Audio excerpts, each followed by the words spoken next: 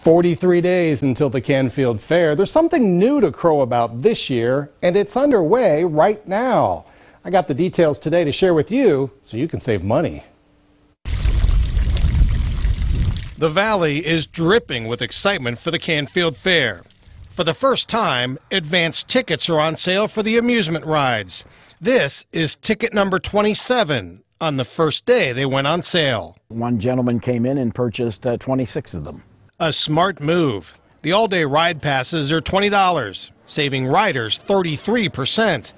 The fair expects the early sale will be a way for fairgoers to handle inflation. Well, it's just another strategy to uh, help the people save a little bit of money, and uh, if they can get, we can get a little bit of money in the bank. That certainly helps the ride company, and it helps us to a certain extent. The fair also sells discounted three and six day admission tickets at the fairgrounds and on the Canfield Fair website.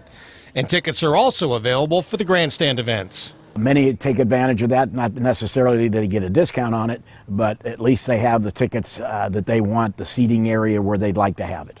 When the fair starts August 31st, you can already have your admission, certificate for a ride band, tickets for the tractor pull, demo derby, two concerts. All that's going to leave you is finding a food truck. Well, you want it fresh and hot, so you better be here to, and ready. Oh, and we will be. By the way, that man who bought the 26 ride passes, he saved $260.